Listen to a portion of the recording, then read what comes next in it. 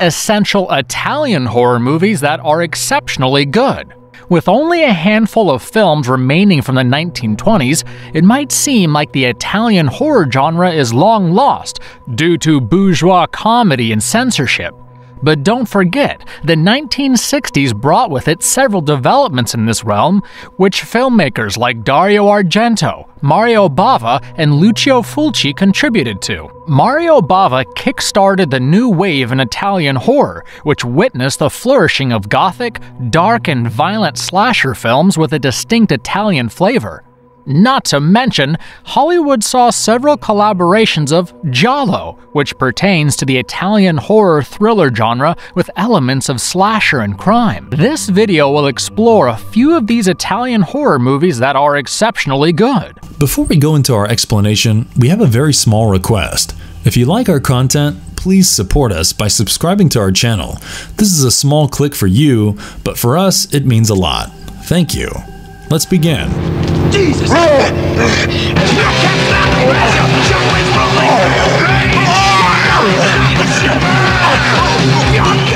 Demons, 1985. This Italian movie is a collaboration between Dario Argento and horror veteran Mario Bava's son, Lamberto Bava. It is a demonic tale based on the premise of art imitating life. It portrays a group of guests who are invited for lunch and asked to attend a screening of a horror movie that brings naturalism to life. Things soon take a turn for the worse when a simple lunch invitation turns into the movie screening from hell.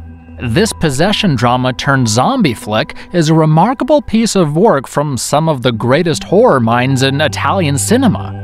It portrays everything good about cheesy B grade films and gives you the thrill of a lifetime with its roller coaster ride of gore, rock music, and special effects. Some viewers might think of it as a silly rendition of psychological horror from the 70s.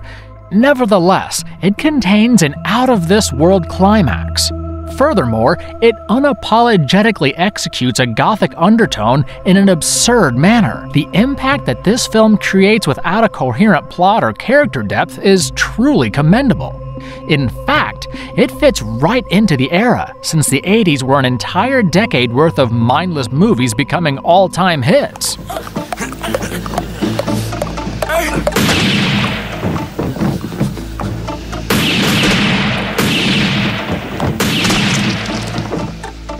Della Morte dell'Amore, 1994. Popularly known as Cemetery Man in English, this film is a comedy horror masterpiece directed by Michele Soavi and based on the novel of the same name by Tiziano Sclavi. It narrates the tale of the besieged caretaker of a small Italian cemetery who searches for love while he defends himself from the bizarre occurrences that take place every day. Will he finally find love and be free of this nightmare? This film reflects the popular Sclavian philosophy in Italian comics. It plays on the duality between love and death, a popular trope in Italian cinema. It boldly walks a thin line between horror comedy and European art films. On the one hand, it appeals to the ludicrous zombie fans who enjoy blood and gore. On the other, it is a thought provoking film with poetic direction that could get the folks of a drama society going. Michele Soavi portrays unmistakably an experiment of visual flair. While it might seem like a fun B movie initially, the visual complexity confirms otherwise. Overall, Soavi makes up for the distinct lack of horror in the 90s with his excellent work. The book!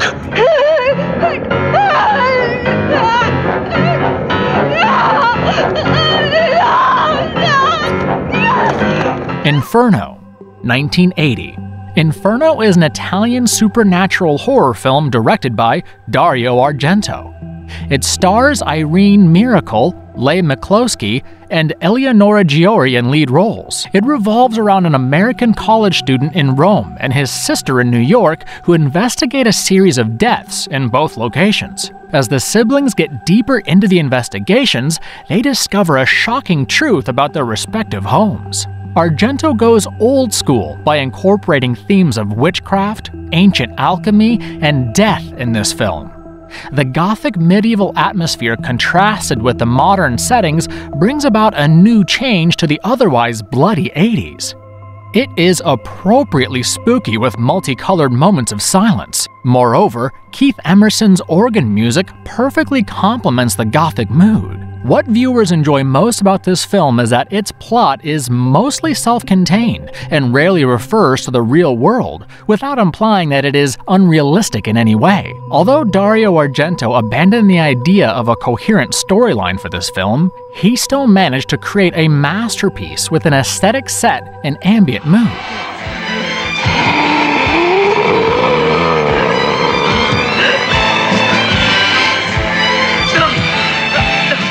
The Beyond, 1981. This is an Italian Southern Gothic supernatural horror film. It portrays a woman from New York who inherits a hotel in rural Louisiana and plans to renovate it for public reopening. Soon, strange events begin to occur as the workers start becoming the victims of freak accidents.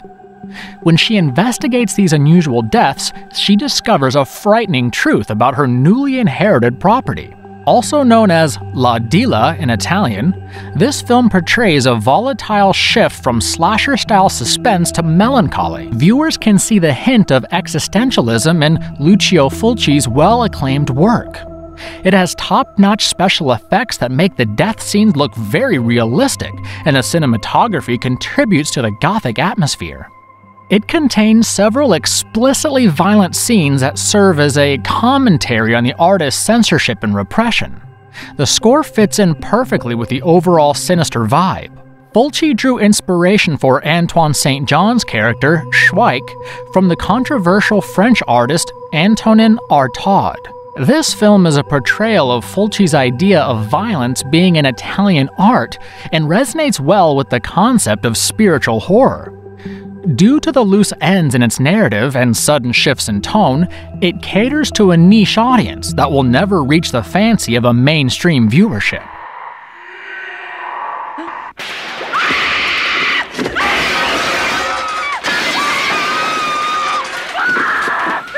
Suspiria, 1977. Suspiria is a well renowned Italian supernatural horror film directed by Dario Argento. Jessica Harper stars as an American ballet student who, after transferring into a prestigious German dance academy, is faced with several unpleasant events. She soon realizes that her school is the front for a supernatural conspiracy. Will she be able to carry on? This film is the father of all Gothic Italian horror films. It is Dario Argento's signature supernatural masterpiece, which set in stone his reputation as one of the greatest modern horror filmmakers. Its setting, which consists of light and saturated colors, successfully draws viewers in, creating the perfect atmosphere. Argento contrasts this with the use of bold primary colors during explicit scenes. Viewers' central aspect of appreciation for this film is how he takes a simple plot and turns it into one of the most memorable Giallo classics. Besides colorful cinematography, its soundtrack is a modern horror score that allows viewers to have an eerie experience. Dario Argento's fairy tale vision and choice of in camera special effects made this film extremely convincing, despite its logical flaws.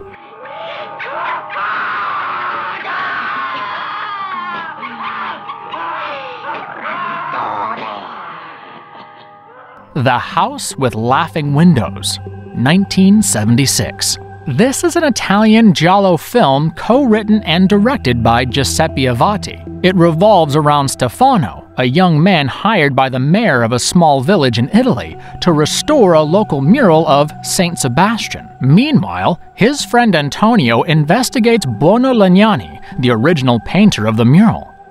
During his search, Antonio uncovers a disturbing truth and has to decide what to do with the information. Despite not having contributed much to Italian horror, former jazz musician Giuseppe Avati has done a remarkable job with this film. Although it doesn't reach the artistic heights of Dario Argento, it succeeds in building a sense of dread within viewers through the central character's isolation. The supporting cast all appear to be creepy, gnarly, dwarf like creatures without character depth. The film illustrates some unsettling imagery along with the visual blood and gore. In addition, it has excellent camera work, which emphasizes an eerie vibe of the characters being watched at all times. It explores the theme of an innocent person eventually discovering the terrifying secrets of a community consumed by evil.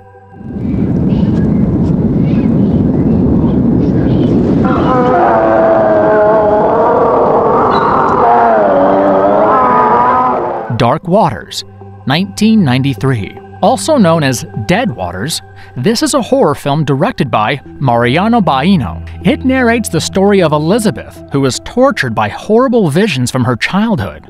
She travels to a mysterious island to learn the truth about her past, where she comes across a malevolent order of nuns. She soon finds herself stuck on the sinister island with no way of leaving. How will she escape? This movie is a prime example of how atmosphere alone can contribute to a high quality horror film. Besides its setting, the film's camera work makes it terrifying. You won't know the effect a close up can have until it looks you right in the eye. It has a unique yet disturbing plot, which Baino executes in his own style and portrays beautifully shot scenes. It also contains extremely violent sequences that are open to interpretation. Remarkably enough, this film has fewer dialogues, which lets viewers absorb its elements via visuals and sounds, making it a more authentic experience. It prioritizes style over substance, which makes it a solid watch for avid horror movie fans and not just for someone seeking cheap thrills.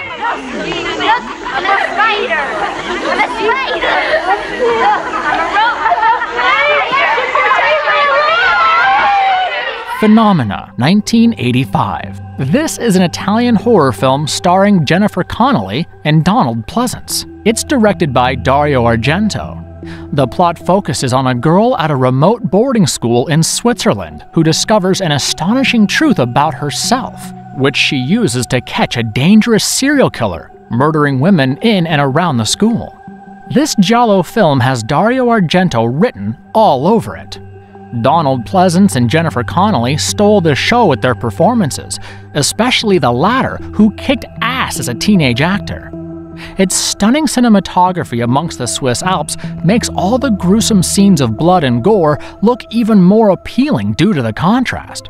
Moreover, Claudio Simonetti presents an electronic score that takes viewers' breath away, especially the haunting soundtrack with the 80s synthesizer and choral soprano vocals. Argento has artistically portrayed this film like a dark fairy tale with surreal elements in the name of horror, similar to his 1977 masterpiece, Suspiria. Story wise, this film takes the cake since it's a blend of all of Argento's signature features combined into one thrilling piece of work.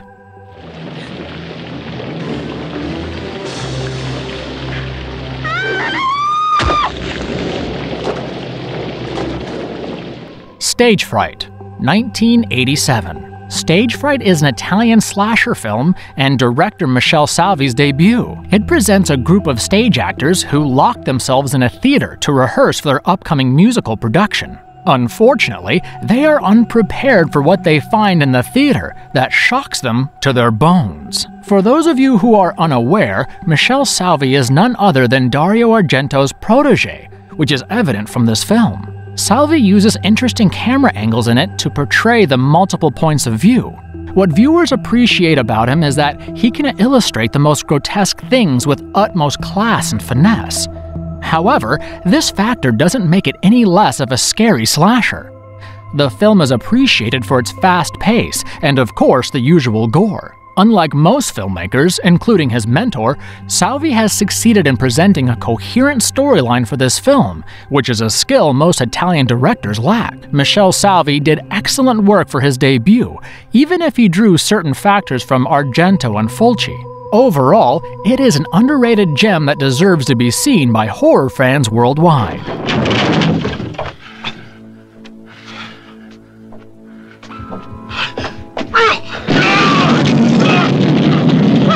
Nightmare City, 1980.